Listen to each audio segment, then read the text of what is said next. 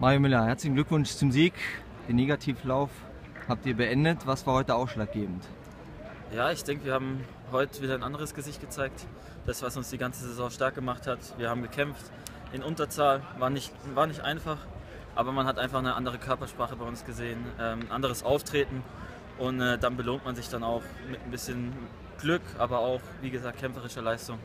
Und das war einfach der Unterschied zu den letzten Wochen, denke ich.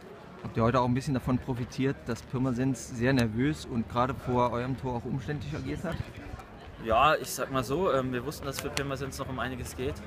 Ähm, nichtsdestotrotz wollten wir unser Spiel spielen. Ähm, was der Gegner macht, ist dann zweitrangig. Wir haben super dagegen gehalten. Ob sie jetzt nervös waren, wie nervös sie waren, war für uns dann relativ egal. Sondern wir haben geguckt, dass wir unser Spiel machen. Das ist uns heute ähm, nach lang, langer Zeit mal wieder gelungen. Und dann haben wir uns dementsprechend auch belohnen können.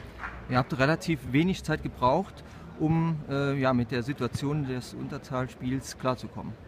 Ja, ähm, ich denke, wie gesagt, die letzten Wochen äh, waren nicht einfach für uns und dann mit so einer roten Karte. Denk, äh, in den letzten Wochen gab es immer einen Knackpunkt in unseren Spielen, wo wir, wo wir auch eine negative Reaktion gezeigt haben.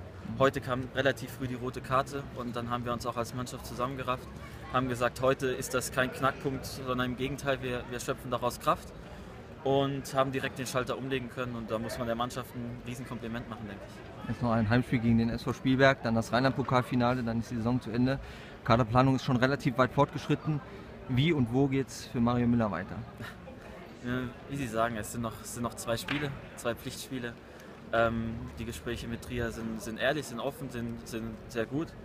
Ähm, nichtsdestotrotz äh, will ich erst nochmal die Saison durchspielen und danach können wir uns alle in Ruhe zusammensetzen und dann werden wir sicherlich eine Lösung finden.